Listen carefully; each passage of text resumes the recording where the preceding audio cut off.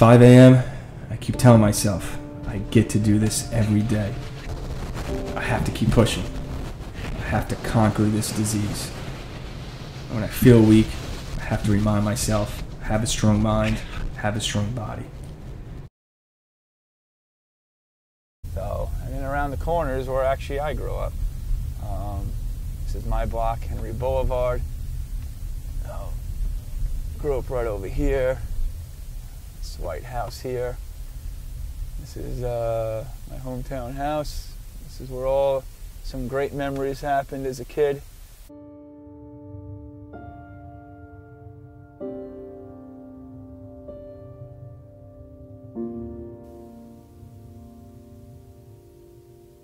February 12th, it was a Tuesday night, turned my neck and I, I felt right here a large lump sticking out of my neck. Not knowing what it was, thought it was maybe a pulled muscle, went to work the next day.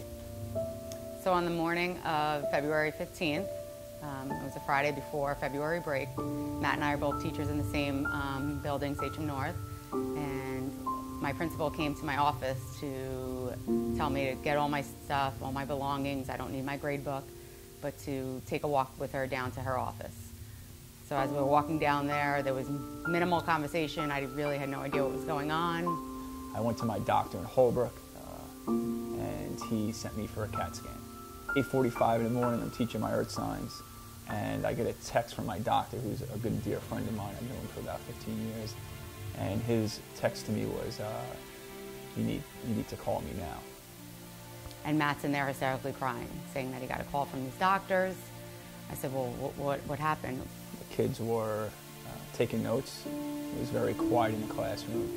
I, I remember that. It wasn't, you couldn't hear a pin drop of my students. And I went back into the, into the room and um, I called my doctor and I said, hey, what, you know, what's going on? What do you have for me? What, what's, what's, you know, what's with this lump? And uh, his response to me was, you know, we're good friends for a long time. I'm not going to sugarcoat anything. I'm going to speak to you as a doctor right now. And he says, uh, you have cancer. As soon as he said that, I said, no way, this can't be, this can't be right. Um, it was awful. We sat there for about 10 minutes, crying. You know, I was in shock, disbelief, but kind of like maybe he could be wrong. You know, he's not a cancer doctor, just my primary physician. And I said, what makes you think that? And he says, well, the CAT scan you took is showing um, that it's, it's cancerous. So he goes, you need to leave school this moment and uh, get out. I have an appointment set up with you in two hours up in Stony Brook.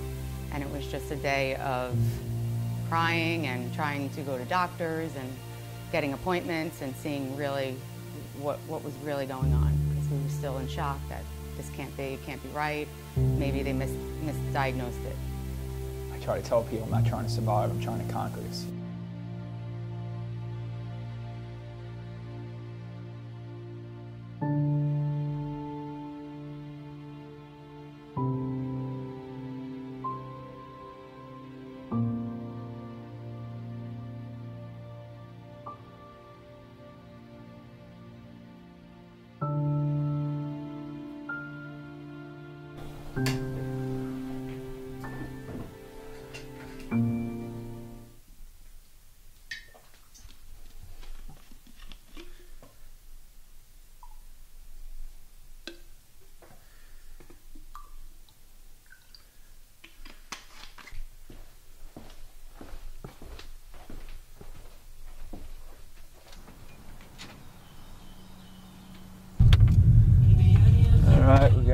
Monday morning here and uh, heading to the gym, get my workout in for the day. Today's another day and that's how I look at my life right now, is just kind of get through one day at a time. What if I just change the way I look at the world? What if today is just the beginning? What if I decide who I'm going to be and become it? What if my actions can create a ripple effect that will transcend space and time? What if impossible isn't fact? What if it's opinion? And what if I don't buy it? One of the things I've learned over our, our time together as friends and, and as, uh, you know, as brothers, as I think of it. He is one of the most competitive, determined, uh, passionate people that you'll ever meet. You know, the things that he's most passionate about, his family, his kids. Um, he goes after everything 100 miles an hour. You know, it's one of the most infectious things about him. Like, that's who he is. So, what are we gonna do? What today? The girls are going to camp. Want fruit? Strawberry, banana, blueberry. Mm, yeah, this is delicious. How'd you guys sleep? Good. Yeah. You made my bedroom. You made your bed. You're supposed to make your bed. Yeah, but I, you don't make your bed.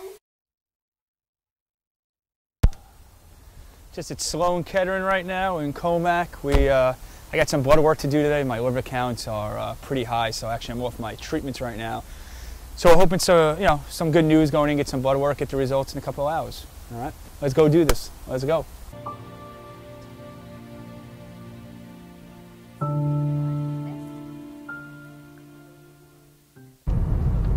So people ask, why am I going to the gym? Why am I doing this every day? 5:30 in the morning, 5 o'clock in the morning. Uh, I've always went to the gym. Um, just you know, my the stakes are a little bit higher for me. You know, which is cancer. The biggest thing is uh, physical shape and getting to the gym and kind of grinding out every day. Um, so that's why I go. I mean, well, honestly, if I if I miss a day, I feel like it's a day cancer is beating me. You know, my new slogan is in life is I don't have to go to the gym.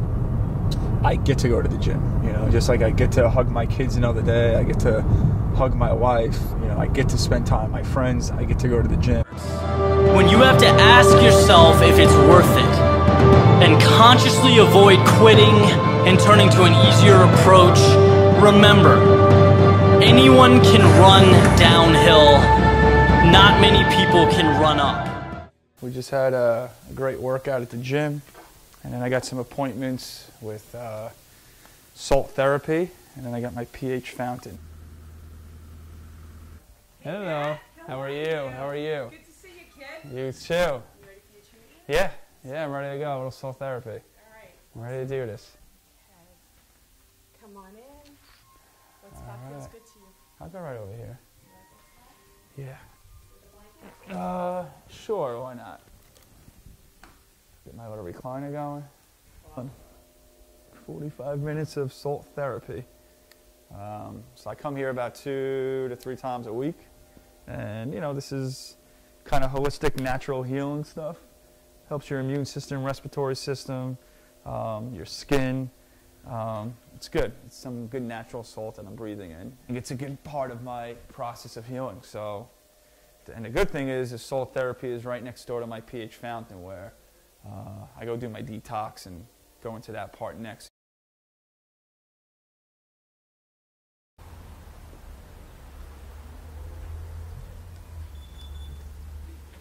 What's up, Patrick? How are you? Uh, vibration therapy. Yep. Awesome. And you go three gallons. Yep. Three gallons to fill up. Stick it on the side. I'll fill it up for you just so you can hop into the Okay. services if you Awesome. Awesome. All right, my man. Uh, that last door on that left. Yeah, come on back. I'll set it for 35 minutes. Gives you plenty of time to be able to get yourself situated. Awesome. Half Thank you. gallon glass, fresh set of towels, sauna vibration therapy. Awesome. I'll see you when you return. All right. Thanks, my man. Enjoy it. All right.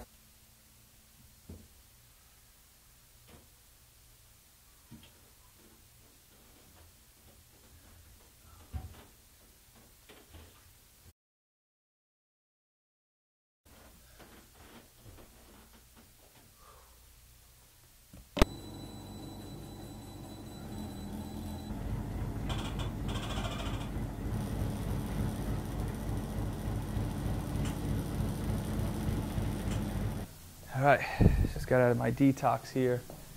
So this is the, the water, nice high alkaline water we pick up that I've been kind of putting in my body. But uh, the detox is great. It's 30, 35 minutes of uh, a sauna and then 10 minutes of a pulse machine. So it's really heating up my body, shaking all the negative ions out.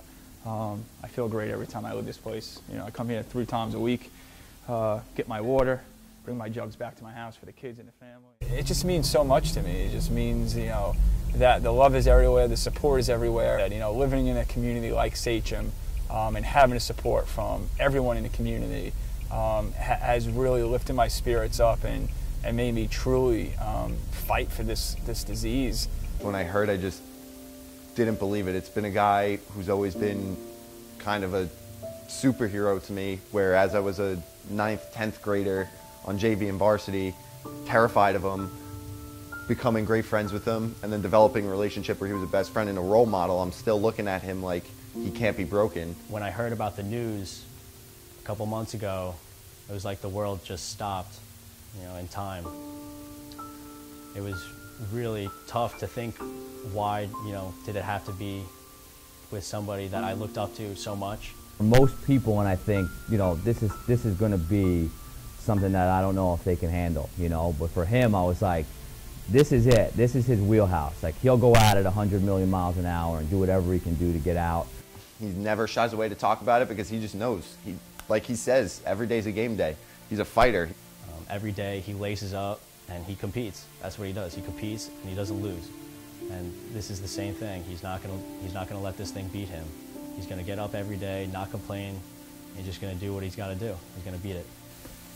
Well, if there was anyone that could beat it, it's Dezy. I mean, you hear everyone say that, and it's because everyone believes it. I mean, he's no one works as hard as he does. He's he's got it in him, and everyone believes in him. He's got so many people in his corner. And you know, the first call I had to call was my parents, so that was uh, that was difficult.